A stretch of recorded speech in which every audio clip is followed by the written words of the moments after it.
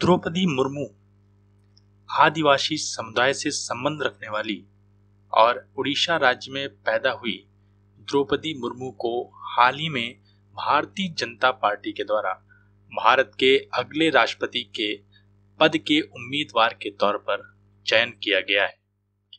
Internet पर आजकल सभी लोग द्रौपदी मुर्मू के बारे में जानना चाहते हैं। चलिए, बिना देर किए शुरू करते हैं द्रौपदी मुर्मू का जीवन परिचय। लेकिन शुरू करने से पहले अभी आप मेरे चैनल को सब्सक्राइब करें और वीडियो पसंद आए तो लाइक ज़रूर करें। प्लीज़, आइए। द्रौपदी मुर्मू का जीवन परिचय संक्षिप्त रूप से।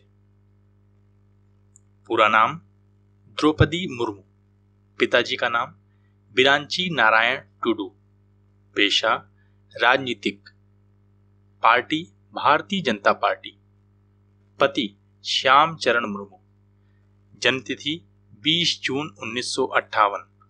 आयु चौसठ वर्ष। जन्म स्थान मयूरभंज, उड़ीसा, भारत। जाति अनुसूचित जनजाति। धर्म हिंदू। बेटी इतिश्री मुर्मू। भारतीय जनता पार्टी से जुड़ी उन्नीस में द्रौपदी मुर्मू का प्रारंभिक जीवन। हाल ही में एनडीए के द्वारा द्रौपदी मुर्मू को भारत के राष्ट्रपति के उम्मीदवार के तौर पर प्रस्तुत किया गया है। द्रौपदी मुर्मू का जन्म साल उन्नीस सौ अट्ठावन में एक आदिवासी परिवार में भारत देश के उड़ीसा राज्य के मयूरभंज इलाके में 20 जून को हुआ था। इस प्रकार से यह एक आदिवासी समुदाय से ताल्लुक रखने वाली महिला है। और इंडिया के द्वारा इन्हें भारत के अगले राष्ट्रपति के उम्मीदवार के तौर पर प्रस्तुत किया गया। द्रौपदी मुर्मू की शिक्षा जब ये थोड़ी बड़ी हुई, तब इनके माता पिता ने इनका दाखिला इनके इलाके के ही एक विद्यालय में करवा दिया, जहाँ पर इन्होंने अपनी प्रारंभिक शिक्षा पूरी की। इसके पश्चात स्नातक की शिक्षा प्राप्त करने के लिए ये भुवनेश्वर शहर चली गई। भुवनेश्वर शहर में जाने के पश्चात इन्होंने रामा देवी महिला कॉलेज में दाखिला प्राप्त किया और रामा देवी महिला कॉलेज से ही इन्होंने स्नातक की शिक्षा पूरी की। स्नातक की शिक्षा पूरी करने के पश्चात उड़ीसा गवर्नमेंट में, बिजली डिपार्टमेंट में जूनियर असिस्टेंट के तौर पर इन्हें पहली नौकरी प्राप्त हुई। इन्होंने ये नौकरी साल उन्नीस से लेकर के साल उन्नीस तक पूरी की। इसके बाद इन्होंने साल उन्नीस में रायरंगपुर में मौजूद अरबिंदो इंट्रीगल एजुकेशन सेंटर में टीचर के तौर पर काम करना चालू किया और यह काम इन्होंने उन्नीस सौ सतानवे तक किया। उन्नीस सौ सतानवे में चुनी गई थी ये जिला पार्षद। साल उन्नीस सौ सत्तानवे का वह समय था जब उड़ीसा के राय रंगपुर ज़िले से पहली बार इन्हें जिला पार्षद चुना गया। साथ ही ये राय रंगपुर की उपाध्यक्ष भी बनी। इसके अलावा इन्हें साल 2002 से लेकर के साल 2009 तक मयूरभंज जिला भाजपा का अध्यक्ष बनने का मौका भी मिला। साल 2004 में ये राय रंगपुर विधानसभा से विधायक बनने में भी कामयाब हुई।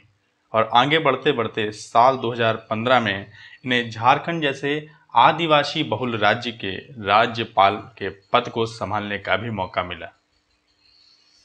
द्रौपदी मुर्मू का परिवार। इनके पिताजी का नाम बिरांची नारायण टुडू है और द्रौपदी मुर्मू संताल आदिवासी फैमिली से संबंध रखती हैं।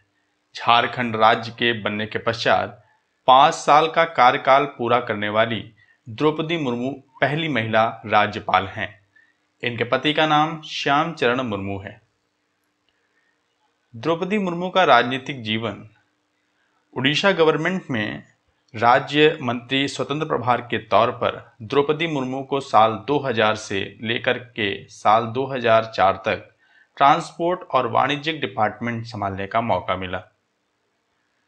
इन्होंने साल 2002 से लेकर के साल 2004 तक उड़ीसा गवर्नमेंट के राज्य मंत्री के तौर पर पशुपालन और मत्स्य पालन डिपार्टमेंट को भी संभाला। साल 2002 से लेकर के साल 2009 तक यह भारतीय जनता पार्टी के अनुसूचित जाति के मोर्चा के राष्ट्रीय कार्यकारिणी के मेंबर में भी रहीं।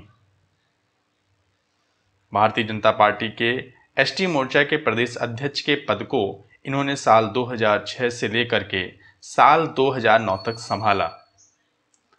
एसटी मोर्चा के साथ ही साथ भारतीय जनता पार्टी की राष्ट्रीय कार्यकारिणी के मेंबर के पद पर यह साल 2013 से लेकर के साल 2015 तक रहीं। झारखंड के राज्यपाल के पद को उन्होंने साल 2015 में प्राप्त किया और यह इस पद पर साल 2021 तक विराजमान रहीं। द्रौपदी मुर्मू का राष्ट्रपति उम्मीदवार का घोषित होना। अभी तक काफ़ी लोग द्रौपदी मुर्मू के बारे में नहीं जानते थे, परंतु हाल ही में चार पाँच दिनों से यह काफ़ी चर्चा में है। लोग इंटरनेट पर यह सर्च कर रहे हैं कि द्रौपदी मुर्मू हैं कौन। तो बता दें कि द्रौपदी मुर्मू झारखंड की राज्यपाल रह चुकी हैं। इसके अलावा यह एक आदिवासी महिला हैं। इन्हें एनडीए के द्वारा हाल ही में भारत के अगले राष्ट्रपति के उम्मीदवार के तौर पर घोषित किया गया है। इस प्रकार अगर द्रौपदी मुर्मू भारत की राष्ट्रपति बनने में कामयाब हो जाती हैं तो ये पहली ऐसी आदिवासी महिला होंगी जो भारत देश की राष्ट्रपति बनेंगी। साथ ही ये दूसरी ऐसी महिला होंगी जो भारत देश के राष्ट्रपति के पद को संभालेंगी। इसके पहले भारत देश के राष्ट्रपति के पद पर महिला के तौर पर श्री प्रतिभा पाटिल विराजमान हो चुकी हैं।